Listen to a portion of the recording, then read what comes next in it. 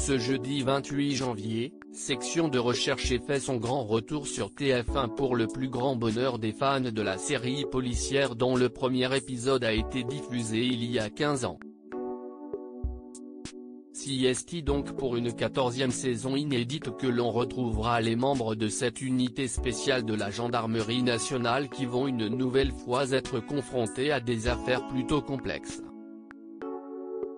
de nouveaux épisodes dans lesquels on retrouvera parmi les protagonistes les acteurs Xavier Deluc et Franck Semonin qui camperont toujours leur rôle de Martin Bernier et Lucas Auriol.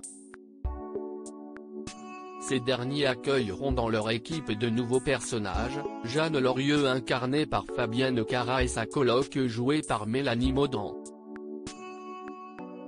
A noter que TF1 a annoncé un petit changement de programmation concernant la série, seul un épisode inédit sera diffusé ce jeudi soir et non deux comme prévu initialement. Mémoire trouble, le premier chapitre de cette saison 14 sera à la place suivi d'une rediffusion des trois derniers épisodes de la saison 13. Un crossover avec Alice Nevers pour le final de Section de recherche alors que le premier épisode de la nouvelle saison de Section de recherche n'a pas encore été diffusé, son final promet déjà d'être grandiose. En effet, TF1 a annoncé que dans l'épisode dont la diffusion est prévue pour le 18 février prochain, un crossover sera effectué entre, Alice Nevers et Section de recherche.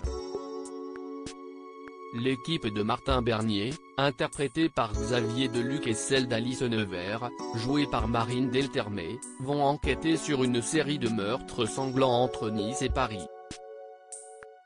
Ce crossover événement ne sera pas le premier.